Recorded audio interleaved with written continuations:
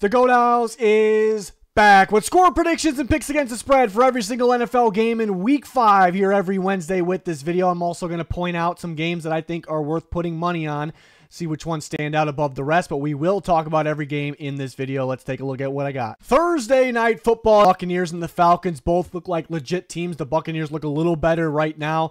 A lot of people picking the Bucks in this game, a lot of people saying under. I got the opposite, but since there's a mixed opinions and it could go either way, it's one I would pass on in terms of uh, you know, betting. But I do like the Falcons. I think the Falcons are a little better than what people think. They're going to continue to get better as the year goes on. Everything's new.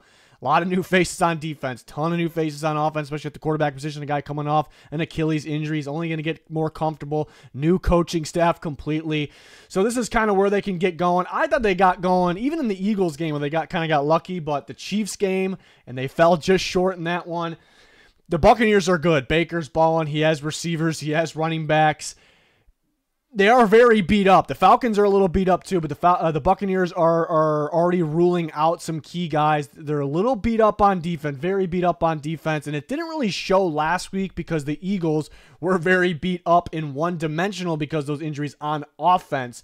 The Buccaneers injuries kind of showed against the Broncos, which I still don't know how good the Broncos are, but that was a little underwhelming in that game.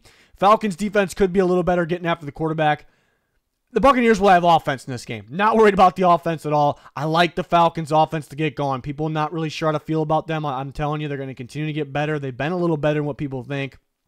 I know they didn't do a ton against the Saints. They did enough, and that was a really good defense. I think the Falcons find ways to expose the Buccaneers' injuries. I think they'll be able to run and throw the ball. They squeak by in this one and win 26 to 24, monitoring some injuries still, but Buccaneers already ruled out some key guys. Antoine Winfield Jr., kind of a standout guy there. Falcons uh, offensive line's been a little beat up.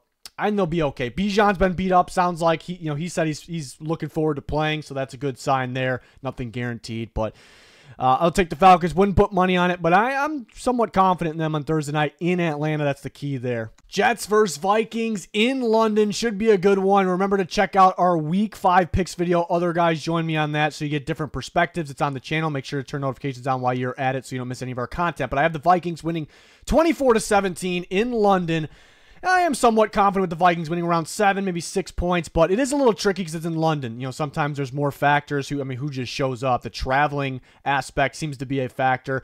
That's probably why I wouldn't put money on it. But I do like the Vikings here. They they do seem to play well in London in the past. Doesn't mean they'll always you know, win their games, but they are undefeated there. They are the better team right now, which always isn't the deciding factor. But I like the way they match up too. Offense is playing well. The Jets defense is really good, so a little bit of a challenge for the Vikings, but they're at the same time the defense isn't as good as we thought, you know, maybe as we thought it would be. Uh, but the big part is the Vikings defense. They are fast. They're fast. They're confusing in that Brian Flores scheme. Uh, Rodgers got beat up last week. He, he's on the injury report. He's going to play. He's on the injury report because he really was visible that he got banged up without Morgan Moses in there and that offensive line struggling. So the Vikings will make sure they get after him with the blitz. I know Rodgers is a smart guy. Maybe he'll be able to find holes in, in, that defense. But the Jets' best bet to me typically is running the ball, which they probably didn't do enough of in the Broncos game. But the Vikings are typically good stopping the run as well. So there's some things that side with the Vikings this game, uh, being in London, being the better team, and kind of the matchup. But yeah, why I would probably pass on it just because, again, the, the London aspect, it's just anything could happen, even though it does right now kind of sort sort uh, side, excuse me, with the Vikings. 24-17 Minnesota is what I have. Let's see if they could keep going. They're due to lose at some point. They got a bye right after this, so it should be pretty interesting what happens with them. We'll see if the Jets can figure it out. Ravens and Bengals, a little bit of a tricky one because the Bengals at home, as long as they're healthy, typically beat the Ravens. In Cincinnati, they, the three out of the last four, they typically handle business. The Ravens' defense isn't as good as the past. They played very well last week, and the Bengals' offense, even though they only have one win, they're clicking. Three weeks straight. Uh, it could be a fourth week here. So that those are reasons. Everything I just said, the Bengals could win, and the trends kind of keep happening here. With you know this team always wins against this team in this scenario. Though so far this early season, it's just staying true. So that would those would be reasons to pick the Bengals. Uh, but like I said, they typically win at home against the Ravens. But the Bengals defense is typically a lot better than what it is right now. Night and day difference, and that's why I'm going with the Ravens. The Ravens were trying some things out the first couple weeks. They're trying to be more of a pass first versus run or about even. They're a running team. They are a running team. We saw that against the Cowboys. They handled business. They almost blew a comeback. They handled business against the Bills, a really good team. Run first team, surprised with the pass. I thought Lamar was great throwing the ball, better than the stats showed. So that's how you actually open they open up the pass. So they'll do that. They learn their lesson. They'll get after it. The Bengals are bad on defense in general, but especially stopping the run uh, because they do not not do they do not have the interior they used to have. DJ Reader being a big one, and they're beat up on the interior. The Ravens will handle business and control the clock. If the Bengals get a big lead and take the run game away from the Ravens, the Bengals are going to win. The Ravens get a lead and continue controlling the clock with that run game, they're going to win. It's, it's kind of that simple, but it's not that simple. It's tough to predict who's going to get the ball first, who's going to score first. But I'm going to trust the team that I know will be able to run the football, control the clock, and, and, win the game here. But it should be a fun one.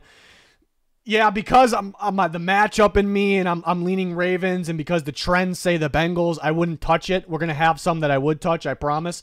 Uh, there's one team that I really like this week, but we have more than just that. So I do have the Ravens covering, but I think somebody's going to win by more than that spread. Somebody's going to win by a you know you know a decent at least a decent amount of points. You know the Bengals, whoever gets that first two two score lead there.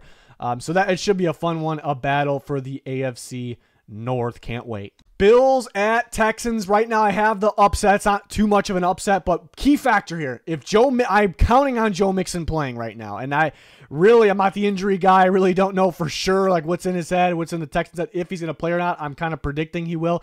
If Joe Mixon is out, I am leaning Bills. You can see me switch my pick to the Bills if Joe Mixon is out because these are two heavyweights in the AFC. They're two very, very good teams. They both have one big weakness. It is the same weakness. They cannot stop the run. Both these teams are great, but they cannot stop the run. It's been exposed a little bit, especially last week for both teams. So Joe Mixon needs to play. Major, major difference between Joe Mixon and Cam Akers. Major difference and the other running backs there. Uh, Joe Mixon's a stud when he was fully healthy in week one. We saw him go off. He can do that against the Bills. But Josh Allen and James Cook, they can go off against the Texans. The Texans are wearing those those beautiful alternates. And uh, Stefon Diggs revenge game at home. Key thing is at home here. If this was in Buffalo, I'd be picking the Bills if Mixon was playing or not. But the Texans are different at home. CJ Stroud is different at home. He wins football games, he produces. And again, the Bills' pass defense has looked good so far, but they haven't they haven't been tested like this. With C.J. Stroud in Houston, with those receivers, Nico Collins looks like Justin Jefferson level right now. That good, maybe the best receiver in football right now. And if you add Mixon into that mix, there's a lot of issues there. But Josh Allen could do it himself. And Von Miller being suspended is a big thing here too, as well, because he's actually been playing much better this year. Uh, key factor, especially on like third downs. So I'm leaning Texans, but if Mixon's out, that is a brutal blow in this game, a major difference. So yeah, that's something to monitor for sure. But because they're two really good teams and it's about who's going to run, you, know, you got to predict who's going to run the ball better. The team that runs the ball better is probably going to win this game. They're both going to run well. But maybe it's going to come down to who makes those that extra throw. And you got two potential elite quarterbacks here. You got the the the future in CJ Stroud, and you got the MVP, top MVP candidate, and Josh Allen. Cannot wait for that one right now. I'm going to go with the Texans 26 24. Let's monitor Joe Mixon. Panthers in Bears, and I promise we're going to get to ones that I would bet on, not just pass. These early portion ones uh, I'm passing on. But yeah, this one's interesting. I think it's a good matchup for the Bears. I'm going to say, I'm going to predict that this is Caleb Williams' best game. At least we hope it is. Uh, it should be his best game as a Chicago Bear, as an NFL quarterback. Uh, it's a little tricky to bet on because three and a half is that hook. You know, the Bears could win by three. The Panthers could win this game. They're a little sneaky, but teams, the, the way teams play anywhere else or at home versus at Soldier Field in Chicago. Quite the difference. Saw the Rams last week, so tougher place to play for opponents. I don't know. I don't know if I necessarily think the Bears play a ton better at home, but it's more of the opponent plays worse in Soldier Field. So that's a big factor in this one. But the matchup I do like for the Bears because the Bears play great defense right now under Andy Dalton. The Panthers, what's their best thing? What do they got going for them? They're pretty explosive on offense. They can run the ball, and Dalton likes to throw the ball downfield, but they haven't played this Bears defense yet. It's very solid. They slipped up a little bit against the Colts. It's a little bit different of a matchup. So I think the Bears slow the Panthers' best thing they got going for them right now, and that's the only way the Panthers could win football games right now. Is the offense is is explosive and the defense holds just enough. And their defense is bad because the pass rush is the worst in football, and that's good news for Caleb Williams, who that's kind of his one struggle. He's kind of taking his eyes off downfield and focusing on the pressure a little bit too much much and yeah, just turning his head and his eyes too much. And he really won't have to worry about that against the Panthers. So that'll allow him to connect with his big time weapons. The Panthers also can't stop the run. The Bears haven't been able to run the ball until last week. Swift broke a big run, so it gives him some confidence. So everything kind of points towards the Bears. I could see it being like a field goal game, but the Panthers in their last, you know, I don't know how, you know, their last from this year and last year against the spread as as road dogs they have not covered. They have not been covering. I mean, there's one cover in there. So uh, the trend says the Panthers do not cover in Chicago. So we'll take the Bears against the spread, but I wouldn't bet on it just because that hook. 23 17 Chicago. We could even see a little more offense than that. We will see, but this is all eyes on. The, it's not. It's not a highlighted game, but it. I think it is because of Caleb Williams. All eyes on him. He must play. I think he must play his best game yet. I think he will. So one to watch there. Browns and Commanders. The, man, the Commanders are good. Command the Washington Commanders are good. Jayden Daniels is good. He, he's elevating his play, so the whole offense are elevating their play. The defense has been the problem. They played very well last week, and that's still to be determined. Are we getting? They played against a, a high-powered offense in the Cardinals, but it's to be determined on if they'll continue that. With all that being said, this feels like a trap game. It kind of feels like a trap game here. I'm still going to pick the Commanders. It's tough to picked this one against the spread as well. I, you know, I thought about 23 20. I mean, the Commanders could score more than this because they, they, um, you know, been hitting overs in every single game so far. So it's a tricky one to pick. But why I think it's a trap game is Jayden Daniels. The Commanders haven't seen Myles Garrett yet. They haven't seen the Browns defense, which hasn't been super great like it's supposed to be. It's been a little underwhelming but it's still much better than what they played, and they'll figure it out at some point. They have a really good secondary. They have really good linebackers. They have Myles Garrett. They have Dalvin Tomlinson. Myles Garrett's going to be getting the Commanders' offense line's been playing better, but are we sold on that? You know, Garrett could be getting after Jayden Daniels. It could be just a different feeling for him, a different a different game for him. But the, the positive for the Commanders' offense is they're rolling, they're clutching them on third downs. Jayden Daniels can escape. He can escape Miles Garrett. And the Browns under Jim Schwartz these last two years have run a lot of man coverage, and that's usually a no-no against the running quarterbacks. And you have maybe right now the best scrambling quarterback in football, Jayden Daniels. So there's the matchup that sides with the Commanders. Uh, defensively, yeah, that's another reason it could be a trap game. Commanders defense looked great last week, but before that, it was awful. The Browns, you're still waiting for them to figure it out. The offense line is terrible. Commanders pass rushers looked good last week, but you know, can they take advantage as the other teams did against the Browns offensive line? I actually thought Watson played better last week. It seems like teams can get separation on those commanders' corners. So is it? And Stefanski's been a hot and cold coach, waiting for him to get hot in terms of the play calling and scheming something up. It, it could be any time. It could be this week. So it just feels like this is a, is a trap game. Even though the Commanders are playing in simple better, they're at home, and I'm going to trust them to win. It just for all those reasons, I, I wouldn't touch it with the spread. I, I, was thinking about the Browns with the spread as well. I, I, didn't see a scenario where I picked the Browns, even though I can see them yeah, again being a trap game and winning. But I'll take the the hot team here at home. Offense keeps rolling. Jayden Daniels makes that extra play, gets a rushing touchdown in this game. Colts and Jags. I'm feeling the Jags in this one. Wearing those throwbacks, love those uniforms at home. And a big reason is, well, first, Jonathan Taylor's a little banged up, high ankle sprain. Anthony Richardson banged up as well. It's the difference between Richardson, and I think Richardson will play, but what's the difference between him and Flacco? I think they have a, actually, this game, they might, I, you know, they might have a better bet with chance with Flacco. It probably depends on the matchup, but just because of his ability to, you know, throw the ball down uh, accurately, I suppose.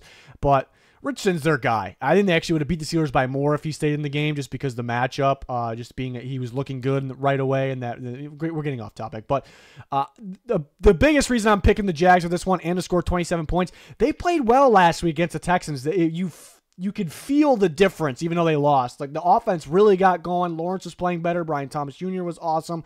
Christian Kirk finally that's the guy. Like he was their most important player in offense last year, and then he got hurt, and we didn't. And we saw we learned that he was their most important player, and we haven't seen it so far early this year, except for that game. You could throw on the Colts. I mean, Justin Fields threw on the Colts, so the Jags continue to roll. They're due to get one here uh, before they go to London. So I will roll with I think the defense will click at some point too because I, I, they have good players. Ryan Nielsen's been a good defensive coach until this year, so I think they figure it out at some point. Colts dealing with some injuries, so some guys to monitor. The big one is Jonathan Taylor. I mean, he, that's that's their main guy, right? So Colts are playing better recently. the Jags typically, you know, following the trends, they typically do well uh, against the Colts. Um, so we'll, we'll go with Jacksonville, barely covering though, and I do promise we are going to get to some games that I will put money on, but um, another one that's a little tricky. I would say the over in this one, but uh, it's, it's a little scary uh, given the Colts injuries. The Dolphins and the Patriots, two of the worst teams in football right now, and I'm predicting a very low scoring game, 13 to 12, and that gets me to the under 36 points. It should stay under.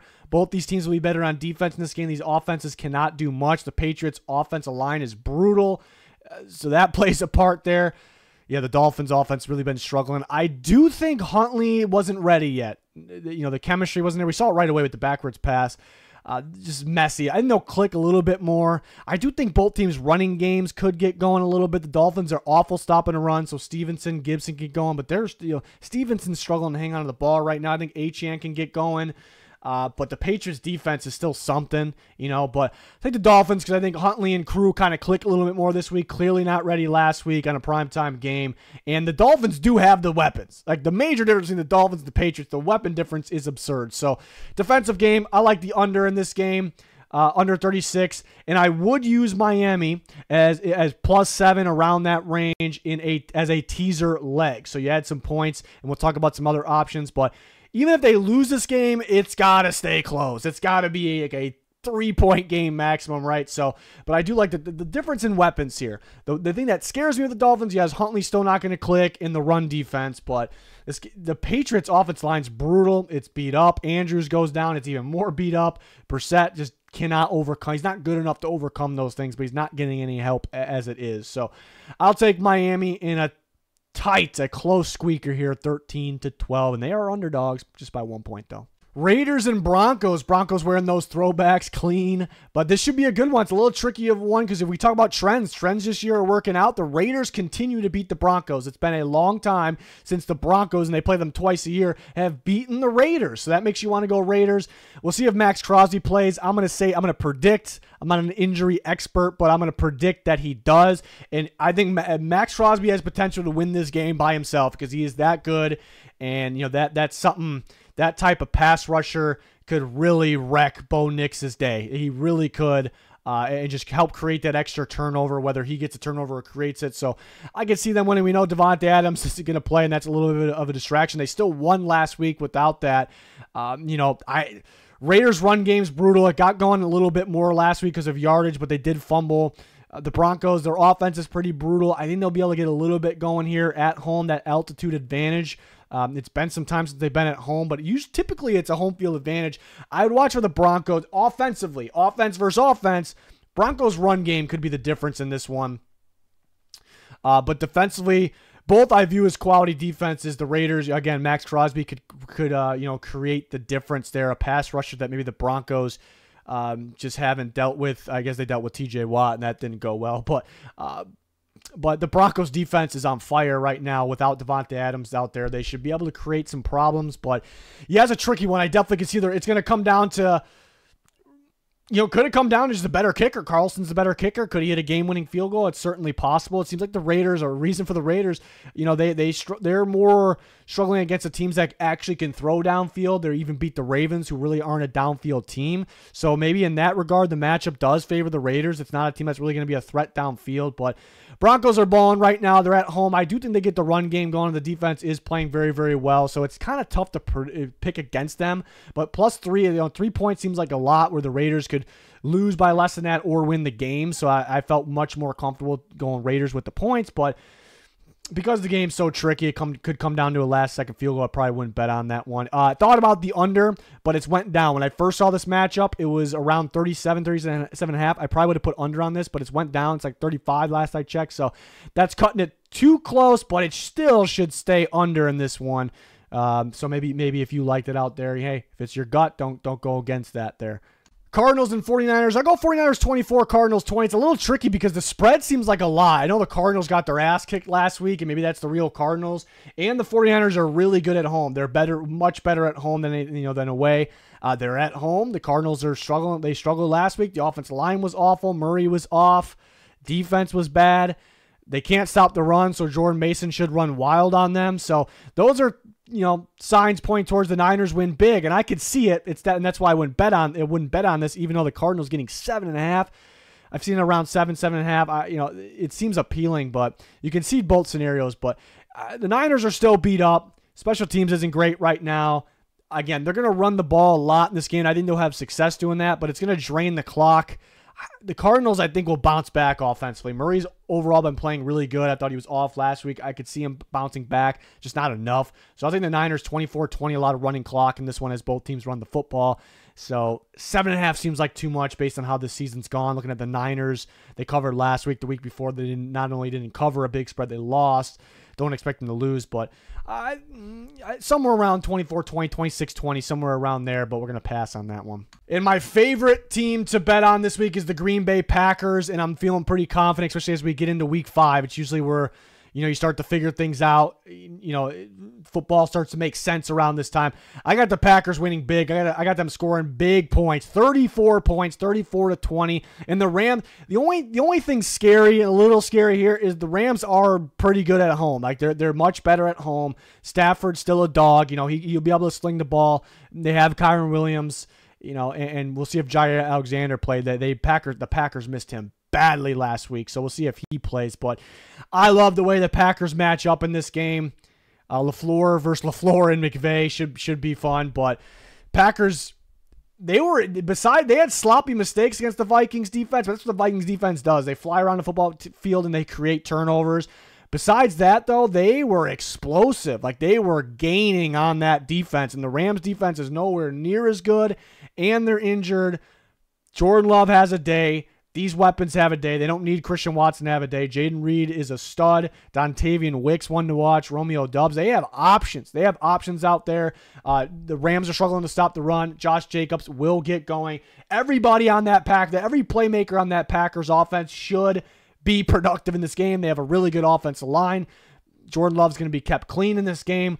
They're going to be, be very productive on offense. The defense is where I'm a little you know, unsure about, but they're not going to let the Rams go too crazy in this one. Hopefully Alexander plays. So I love the pack. It actually started at three and a half, went down to three, so that's interesting. But maybe it's back to three and a half some spots now by the time I, this is up. But I either way, three and a half. I know it's got that hook on it. I love the Packers this week. They should handle business. Uh, I if I if I miss this one, I'm going to be very shocked. But uh, in the Packers uh, point total is 25 and a half. I love them against that. We've only had only one team total this year that I felt great about. It was the Bengals last week. Easy money right there. Packers point total crush it. 25 and a half over love that. And then if we're talking about teaser we had the dolphins plus seven. Hey put the packers plus three. If you think there's a chance that the packers could lose this game they will not lose by more than three. Throw that in there. If you want to throw a money line i like the packers. There's not too many straight up locks this week. I like the packers. So let's see if uh, it's going to be surprising if they don't handle business. I know it's in la and that i guess that's why it's a close line but uh, it could be a shootout. Stafford could go to work. Got the packers taking care of business. They'll have a good game plan in this one Giants at Seahawks. Definitely some injuries to monitor in this one. This is one I want to go over because the Seahawks are beat up on defense. Therefore, the Giants should have some production on offense. And we know the Seahawks will be productive on offense. Problem is, I think I do think it'll go over, but I can't really put it as a for sure bet. Nabers is still in concussion protocol. You take him away from the Giants, that's their offense. So I mean, you got issues there. And the Giants' defensive line is good, and the Seahawks are a little beat up on the offensive line. So could that slow down the Seahawks? It could slow down Geno Smith, but they're still so high powered on offense. They can score in a single play. I think DK Metcalf has a big game in this one. Kenneth Walker looks really good when he's on the field. He looks really good when he's on the field. Lions couldn't stop him, and that's shocking because uh, he's good, but the Lions' run defense is one of the best football. So even with the issues that the Giants present, defensive line, Seahawks injuries, they'll still score points. The Giants, it's going to depend on Nabers, but I love the matchup for Seattle because, uh, again, they'll be able to just find ways to put, put put points up on the board, especially at home. And defensively, they slipped up against the Lions. That might be the best offensive football. Mike Macdonald's a really good defensive coach. They'll be able to game plan for Daniel Jones and company. Uh, there's really one. Play- I know they have more than one good player, but there's really one playmaker that is really a threat. He's in concussion protocol. So I do like the Seahawks matchup at home. I'll have them winning 27 20. If Nabers is out, we drop that giant score down a little bit. 16, 17, somewhere around there, but give me Seattle in this one. Cowboys and Steelers uh, right there with the Broncos Raiders in terms of the toughest one to pick this week. In the picks video, you can tell that was my feeling. I was like, ah, which one do I go with? I kind of was leaning Cowboys last night in that picks video, but Cowboys got too many injuries. Brandin Cooks out of nowhere now has some something going on. He's out. And a big problem for this year. I mean, the Cowboys are still explosive on offense, and that's kind of the why you could go Cowboys is because they, even though they're underwhelming, they're still the Cowboys offense. Like they, statistically and on paper, they are still explosive. And the Steelers haven't really seen that yet. That defense is it is it quite as good as how it was when they were undefeated? I think it's close. I don't think it's quite as that good as, as good as that. I think it's pretty. It's one of the better defenses still. Uh, you know, so I could see the Cowboys just being too much on offense. Where the Steelers, every Steelers game is pretty much the same, where they just do not score enough points. They're kicking field goals at a touchdowns. If they do that, they're going to lose. They're going to lose to the Cowboys. But a big problem for the Cowboys on offense is CeeDee Lamb having to carry that receiver group, and now Brandin Cooks on top of on defense, Micah Parsons and Demarcus Lawrence being out. If Micah Parsons plays all of a sudden, I don't think he will, but if he plays all of a sudden, I'm probably going leaning Cowboys. So it's a tricky one, one to monitor here. But I, I, just too many injuries for the Cowboys. Another thing, Seumalo, who I thought last night probably wouldn't play this game. It sounds like he may play. Uh, but they are without James Daniels and Troy Fautanu, so those are tough as well. But you don't have the elite pass rush to get after, you know, uh, Justin Fields. Justin Fields been picking up a little bit. He'll be able to run this game. Najee bounce back game looks like he could run the Cowboys, even though they picked it up against the run last week.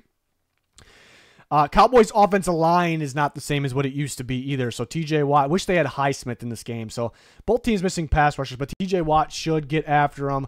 A uh, lot on Terence Steele's play. He's pretty good offensive lineman, but I think for the Cowboys, I think Ferguson actually has a pretty good game. Uh, but that Cowboys defense just looks brutal right now. Well, too many injuries uh, in general. Curious to see if Caelen Carson plays uh, because even though he's a rookie, he's not the best on the plan. They need him out there opposite Diggs. Um, Overshown's playing really good. I like to point that out for the Cowboys like that. Uh, Steelers prime time Sunday night football at home. Great defense. T.J. Watt, maybe the defensive player of the year right now. As of right now, they'll be able to run the ball. Tough game plan. Too many injuries for the Cowboys. I already said that. I'll take the Steelers 20 to 19. We'll take the Cowboys with the points. Uh, there's another teaser leg. You can actually bump up for some, you know, not the poorest odds. The Cowboys to plus 10. This should stay close. They can win the game. So pair that with the Packers teaser in the Dolphins teaser. You got yourself a teaser. and uh, yeah, that's a tricky one, though. But uh, right now, we'll monitor some injuries, but leaning Steelers. There's a couple games like that. Monday Night Football, and I will recap all my picks against the spread. But Monday Night Football, Saints at Chiefs. I like the under in this game. It's going to stay low, I would think. And there's a there's a possibility, you know, why that could be scary. Why your argument you can argue against the under. what uh, the Chiefs, you know, they could go off. Home primetime football. Mahomes has been playing great. We know he's going to click in in the zone at some point. And the Saints run a ton of man coverage and they've been making some money off blitzes as well. That's a no against Patrick Mahomes, and they have speed, Xavier Worthy out there, so they could they could take advantage of that. I'm just really not counting on a ton of offense, enough offense for the Chiefs, but Rashee Rice is by far their best target, and Pacheco is by far one of their best playmakers and their best running back. Uh, you know, so those two guys being out, Pacheco's been out, but just like I just thought I'd bring that up still. Um, just limits them. And Worthy, how consistent will he be? I think he'll make big plays. This matchup favors him. Man coverage, he'll use his speed in this one. Um, lack of running game, you know, they'll get try to get Kareem Hunt going. Just not enough offensively. And the Saints, uh, off. I worry about their offense against Spagnuolo's defense. Uh, I think they'll get some big plays here and there, but that's a really good, well coached defense. You got Chris Jones out there causing a ruckus. So I, I, don't. I think these are two defensive teams in this game that have a um, a highlight play on offense here and there, but mainly stall out defensive game. I'll go 20 to 16. Uh, Saints are undefeated against the spread on the road this year. I don't think it's going to keep up forever, but that kind of made me keep it a little close here under the five and a half. But it's a tricky one to bet on in terms of the spread because the Chiefs could win by a touchdown, you know, so it's a little tricky. But 2016, I like the under in that one. Maybe that's bold because you got fast, high powered offenses and it's not the biggest total, but um, that's what I'm going to go with for this Monday night game. And here's a recap of all my spread picks here. Uh, I took the Falcons, we took the Vikings, so a lot of favorites at the start. Ravens, Texans, if Mixon plays, Bears, Commanders. It could be a trap game. Definitely stay away from that one. I was thinking about making that one a push prediction.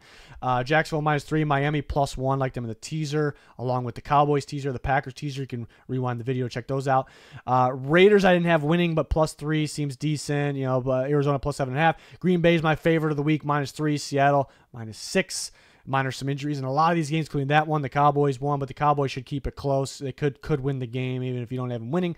Uh, plus two and a half is decent. Wish it was three. Saints plus five and a half. They're undefeated against the spread on the road this year, so that made that one interesting. Chiefs a little beat up, but I do have them winning that game. So make sure you check out our other videos. We got power rankings and picks with the boys up on the channel. We have more coming. My locks video and a lot more content. Been talking about the Devonte. We could talk about the Davante Adams trade in a video in the near future, but we've been talking a lot about it on Twitter with news updates, my thoughts, predictions, things like landing spots, things like that. So uh, very important to follow that Twitter link pin in the comments for that at Goathouse NFL. But that will do it for this one. Thanks everyone for watching. Goodbye.